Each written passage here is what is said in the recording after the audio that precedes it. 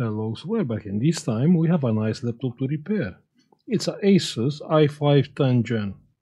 This job is coming from a computer business. Let's check the email. Has no sign of life at all. I did some basic tests to make sure it wasn't the charging port and seems like the issue is on the motherboard. So that's all what we know about this laptop. I will say let's plug a charger and see what it's doing. Yeah, this is a Asus small round pin. Let's see what can be wrong.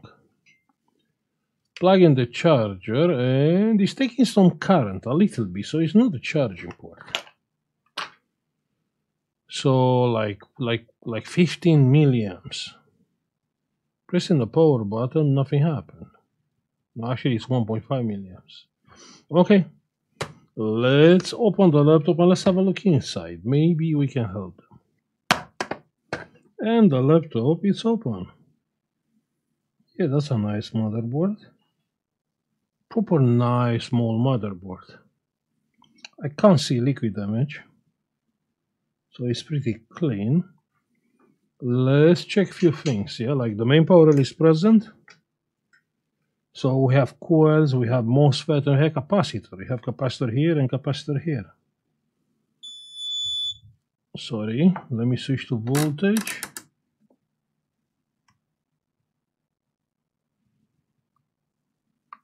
So the main power rail has no voltage. But what was that beep? Let me disconnect the battery. Let's switch back to beeping. And main power rail is zero ohms. Check that, zero ohms. Exactly zero. Let's come with the power supply like usual. Try to find what is shorted. We have ground. Yeah, it is ground. And we need a thermal camera. Uh, I'm gonna use the old one. People ask on uh, on the last video with the Microsoft thermal camera. Sorry, how you mount the, the camera under the microscope. And I will be honest with you, I use hot glue. And the camera was fine till the moment the polarization ring got hot and fell down. So I need another solution to put the camera there. So I don't have yet another solution. But if you have any idea, just let me know. Till then, we're gonna use the old uh, thermal camera. So it's taking 2.7 amps, and what is getting hot? What is the that that that's a easy pizza, right? Check that. Is a easy pizza? One second. Yeah, that's a easy pizza. So we have a shorted pizza on the motherboard. And I, but yeah, it's not, it is point checking, check there. It is any point checking. You can see it's cracked. So if I come with alcohol and plus, uh, nah, it's taking too much current. But you can see the alcohol is getting evaporated. So our pizza is shorted.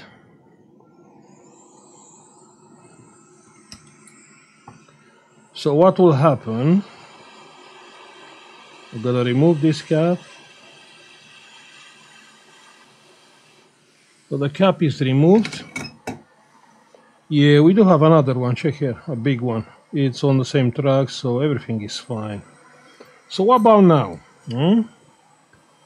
The laptop, it will work. Let's cool down the board. What do you think? Let's plug the charger. Actually, let's plug the battery. Let's plug the charger. Yeah, 1 volt. Okay. 20 volts. Plug in the charger and check that 700 milliamps. Huh? We have lights here. Huh? Let's see if we have any picture. That will be nice. Doesn't seem to be charging. I mean, the current should be way over 1 amp. Because the laptop is on 1.7 amp. Check there, 1.7. Okay, start looking good. We reset the BIOS, so we have to wait a little bit. But interesting design. So you have the fan here, which is cooling nothing. Then you have the heatsink here. So probably if you have the back cover, it's uh, pulling air from here. We have picture, huh? What do you think about that? Less power of the laptop and the laptop is off and it's taking one amp. You can see that's the charging current. And we have the charging light. Hmm? I am working on um, some um, laptop repairs tutorials. Yeah, definitely there, there will be a lot of videos. It will be this month. I'm working on it because we have computer business which they want to fix it but they don't know how. And we have this kind of faults which is very easy. So soon as you are able to identify the main power rail then you can check it with a multimeter you can see sure then you can come with the power supply and actually with the thermal camera you can figure out the fault. So it's just a matter of uh, day or weeks till the uh, laptop repair uh, tutorials they will come now missing capacitor already we spoke with about missing capacitor removing the capacitor and um, of course, everyone has opinion. I have opinion. But my opinion, it's actually proved. So without the capacitor, actually the laptop is working better. Yeah, you have less ripple on the on the main power rail. I made a video proving the point why the MOSFET it will work lighter if doesn't have the capacitor next to it. Has to have the capacitor near, but not exactly here. Of course, if you design a switching power supply, you'll put the capacitor exactly there, and I understand your point. If we are speaking about uh, the regime that MOSFET is working, it will work lighter if you put the capacitor a little bit far, like like you have uh, a truck you have a coil, you have a resistance, and it's a little bit more complicated. But I did make a video, which I took it out. Now, this video is actually private, was published for members only, but was not received very well. And I definitely understand everyone uh, see this, these things on, on a different way. So yeah, I removed the, the video and it is private, but I'm going to show you, I made a test you see, this state which I made it, and you know, I forgot to specif specify actually on real life, you can't have this. On real life, this doesn't exist. So you cannot have a switching power supply with two wires with no capacitor near to the switching uh, MOSFET or chip. But just to prove the point, yeah, I exaggerated there. So I used two wires, yeah, and here is one capacitor which is no solder. So uh, the idea of the video, here it is a capacitor. The idea of the video is showing the ripple, having a capacitor next to the chip and and without the capacitor next to the chip actually here. Now pressing the pressing the power button on the power supply and yeah. The way how the power supply is working, this is a buck. Yeah, it's a buck. It's not a boost, it's a buck power supply the way how the buck power supply is working, let me see if I can find. I know I have somewhere an ammeter. Yeah, I found it. I found it. Uh, the way how it's working, yeah. So it's taking like 800 milliamps, right? And you'll think here is going 800 milliamps. No, actually here it's a lot more current, like 3.6 amps. This is a buck power supply. That means it's converting the voltage into the current. Indeed, here we have lower voltage. Let's see what voltage we have. I don't, even, I don't really know what voltage it is. And we have like 4.4 volts, but we higher current. Good, so uh, that's uh, how a buck uh, power supply is working. Good, let me zoom and let's, uh, let's, uh, let's check with the oscilloscope. Okay, so we have the oscilloscope. The oscilloscope is set up to be sensitive, so whatever signals you see actually are are very low.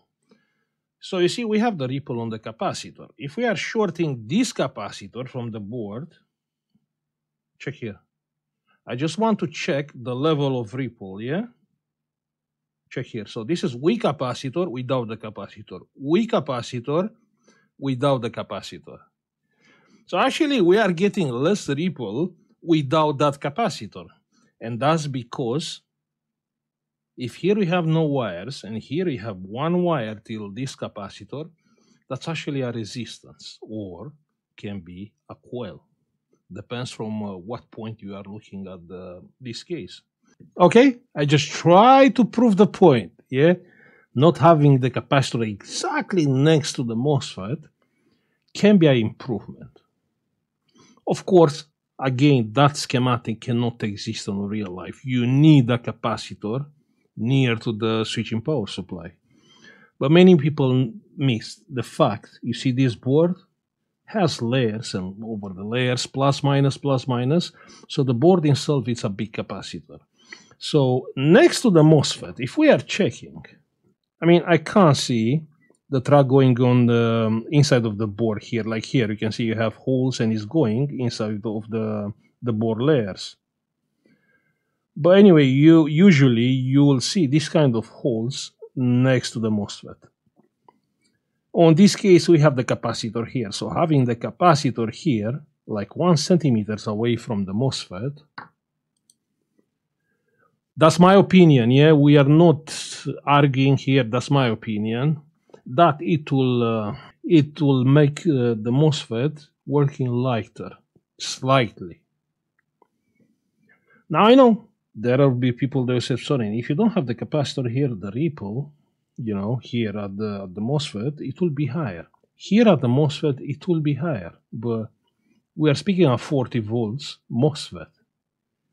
You know, like few hundred millivolts or even volts. It's not volts, it's millivolt, microvolts or, or millivolts. Here doesn't matter. Yeah, matter what is on the main power rail. Yeah, so that, that's what is important. So actually, the, the ripple on the main power rail, the ripple from this power supply, it will be lower. Just because of this piece of track. And now you say, yes, sorry, but why the manufacturer they are not building then the schematics like that? because this part of the circuit, yeah, one centimeters, it's a it's not only a coil or a resistance, it's also antenna. It will increase the the frequency leaked from uh, from this antenna. So the idea of the design when you build something is to be sure is complying with some standards. And the most important one is not leaking any switching frequency. Probably this is like 300 kilohertz uh, power supply. It's no, it's no leaking outside. Not having a capacitor here, but having a capacitor here, it all kind of leaked. We're speaking microvolts. You can't even detect something like that. I mean, you see here a capacitor are more than 100 capacitors on power rail, probably on, the, on a laptop motherboard, excluding this big um, maybe not hundred, dozen, yeah, dozen the capacitor, excluding this big capacitor, which is the motherboard itself. But again, I don't. This is like same like iPhone versus Samsung people, or uh, sugar versus salt. I don't know this kind of stuff. So I don't want to go there. The point I'm trying to make: don't risk it for nothing. You will risk it for nothing. So you, let's say, not me. Here is just the idea I'm trying to send to the people. Yeah? You found a shorted capacitor, you remove it. Just give back the laptop and enjoy the money from that repair. Because if you try to solder the capacitor, for me, nothing can happen. Most likely. But the other people, the things can go wrong. And it's about the things can go wrong for no improvement. That's the point I'm trying to make basically you will see absolutely no improvement if you replace or not replace that capacitor. It is looking more professional replacing that capacitor. It is, but not for the customer. It's looking professional for the next guy, which is opening the laptop. So if you open a laptop and it's not capacitor, there was soldering. okay, again, I'm gonna repeat one more time. This is not about me and my video. It's about the idea I want to send. And the idea is don't bother to replace a capacitor on the main power rail. Of course, you can do it. But if you're a beginner and your soldering skill is kind of, you know, just enjoy the moment. You repair the laptop is working. Just leave it like that. And yeah, behind of the scene, actually, that most ready to live longer compared if you have a capacitor there. We can speak about capacitor like long time. The capacitor which are soldered here are no random. Yeah, they have a res resonating frequency. So basically, if the if the, the power supply is switching at uh, 300 kilohertz, then the capacitor it will resonate on 300 kilohertz. So the story is it's a lot more complicated than the looks like. But yeah, I did prove the point. Actually, without capacitor, I have less ripple on, uh, you know, far away from uh, from the switching power supply. But like a general idea, you want capacitors next to a switching power supply.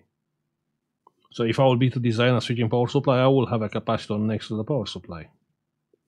Of course, it will make no difference and I will have no problem if the capacitor is not soldered next to the MOSFET drain and it's like one centimeters away on a big, freaking big truck. Yeah, it will be no problem. So I'm gonna stop now. I will say thank you for watching. You know, like, subscribe if you like the video and see you on the next one. Bye. Hey, if you find my content being helpful, don't forget you can support this channel by pressing the join button and you can get instantly access to our uh, members only cool collection and uh, Discord private channels for support with your repairs. Also, you can have a look on our uh, United Kingdom uh, eBay where you can find some cool and unique products. United States eBay store or our Patreon page. Thank you.